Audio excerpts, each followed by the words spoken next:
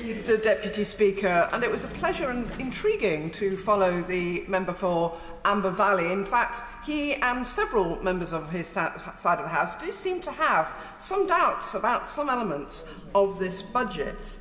And I'm sure the Chancellor is pleased uh, that he's managed to be in the post long enough to deliver a budget, and I'm sure he's hoping that he doesn't manage to torpedo the economy like his predecessor.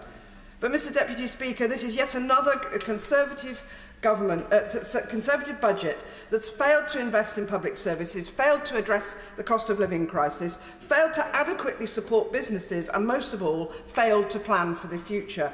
Today was the chance to unlock Britain's potential but it's just been a series of tidbits which have, been which have papered over the cracks of their failure after 13 years in government. Their failure to really deliver consistent and green growth. In September, we saw the government deliver a mini budget that shook our economy and delivered a huge shock to businesses and residents across my constituency. Meanwhile, we're in the middle of a mainly avoidable cost of living crisis Real household incomes are due to fall 5.7% over the next two years, the largest fall of living standards since comparable records began.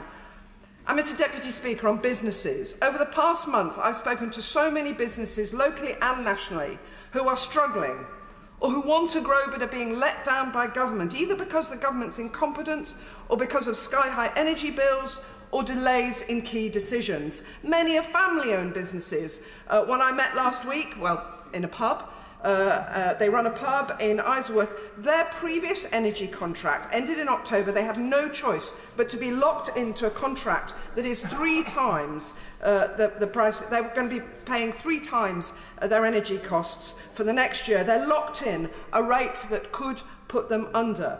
The energy bill relief scheme that ends in March will be of no help to them due to the sheer scale of the locked-in rise. And I'm not sure the draught duty extension announced today will be enough to help that pub. And when I visited businesses on Chiswick High Road, they tell me that time and time again just how broken our business rate system is. It's outdated, unfair, and hammering businesses when they most need support.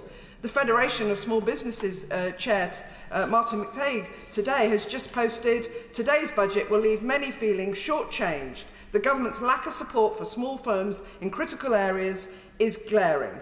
And not a lot of support extra from what I could see from Make UK and the uh, British Chambers of Commerce. So that's why we need a Labour government that will support businesses and support workers and invest in public services. And between that, we will get our economy growing. Key to how government behaves towards business is collaboration, not short-termism and delay. Whenever I meet with businesses, business leaders, I hear example after example about the government's inconsistency The ban on onshore wind turbines that existed for more than a uh, that's existed for more than a decade. A ban that meant UK firms were exporting wind turbines rather than building them for our own energy grid. We know the UK is falling behind in ensuring that electric vehicles and batteries are built in the UK. New plants that could provide well-paid and skilled jobs here. But the Conservatives have simply um, failed to plan or invest.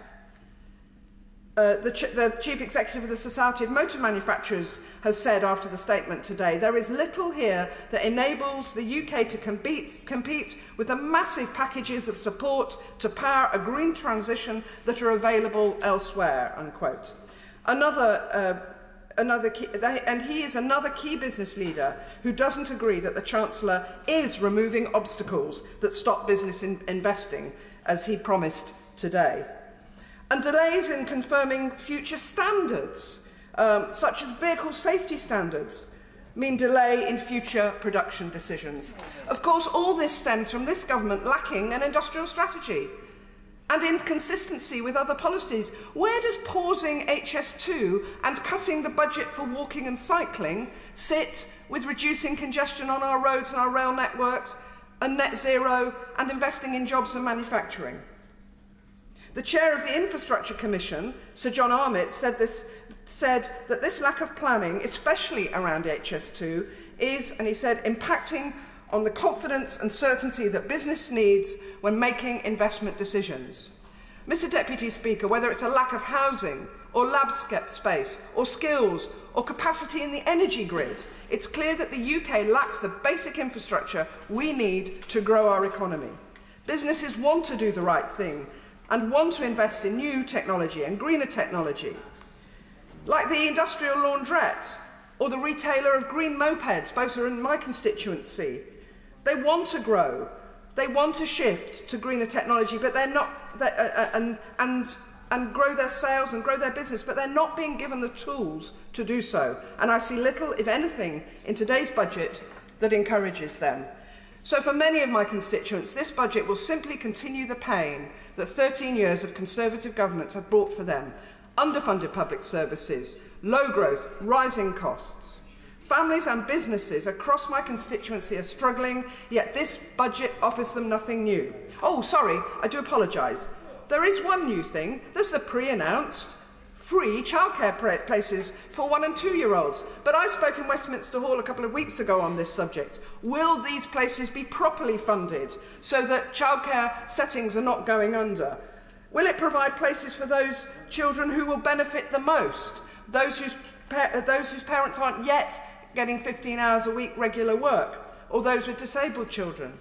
So, Mr Deputy Speaker, in conclusion, this budget does little to get this country out of the doom loop of low investment, low growth, yet high taxation.